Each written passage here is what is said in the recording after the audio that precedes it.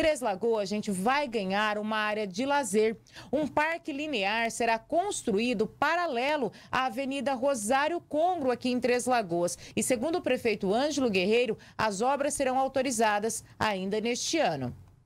Aos poucos, o trecho da área que serviu de passagem dos trens no perímetro urbano de Três Lagoas vai tendo nova ocupação.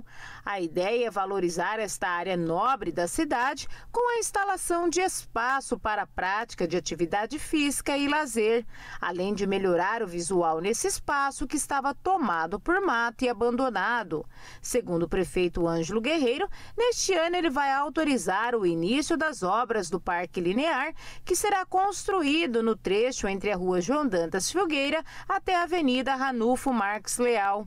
O projeto do Parque Linear, que será construído paralelo à Avenida Rosário Congro, na área que pertencia à antiga noroeste do Brasil, foi orçado em mais de 9 milhões de reais. Aqui nesta área está previsto espaços para o lazer, para o esporte, para o entretenimento e para atividade física que esse ano ainda eu vou assinar a ordem de serviço do início do Parque Linear, que vai se iniciar aqui já da rua João Dantas Filgueira até no Rodonel da Ranulfo Marques Leal, aonde vai contemplar aí com pista de caminhada, ciclovia, academia ao ar livre em diversos pontos, quadra de areia, enfim, várias várias diversões para populações, para a população Três Lagoense, não somente os moradores dali.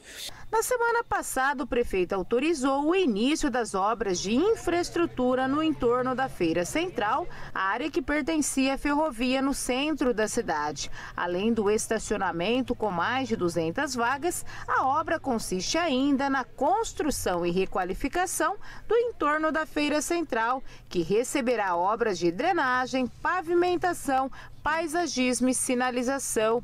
As obras vão contemplar o quadrilátero das avenidas Rosário Congo e Eloy Chaves e das ruas João Dantas Filgueiras e José Pinto Carriço.